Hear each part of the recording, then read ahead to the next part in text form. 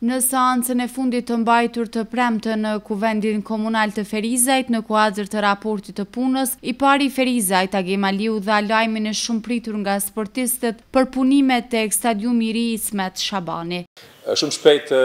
do të përfundojë gjithçka që ka të bëjë me se u shtrua si çështje, çështja e stadiumit të qytetit Ismet Shabani. Pra, ka përfunduar fizibiliteti, studimi i fizibilitetit për stadiumin Ismet Shabani, respektivisht për zonën respektivisht kompleksin sportiv dhe kemi komunikuar edhe me ministrin dhe praktikisht është në fazën finale të asaj se si do të duket, pra është vetëm çështje e dizajnimit të stadiumit dhe shumë shpejt pastaj do të fillojnë gjithë procedurat që kanë të bëjnë me prokurimin, zgjedhjen e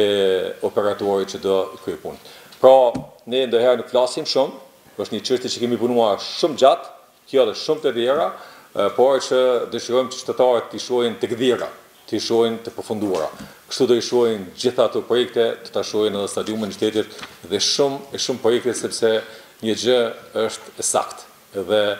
e sigurt. Ministria e Kulturës, Rinisë dhe Sportit dhe Komuna e Ferizajt kanë nënshkruar memorandumin për ndërtimin e stadiumit të qytetit, i cili kap vlerën e dhjetë milionë eurove. Stadiumi i qytetit në Ferizaj është planifikuar të ndërtohet afër palestrës Bill Klinton dhe do t'i plotësojë kriteret e UEFA-s dhe FIFA-s.